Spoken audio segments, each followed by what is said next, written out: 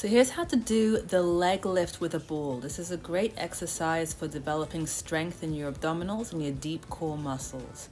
So grip a Swiss ball, probably a medium-sized one would be good. Grip it between your calves and your ankles and your feet.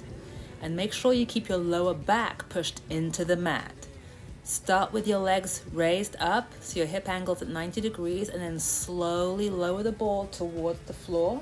Stop just before it touches, raise back up, and repeat for the desired number of reps.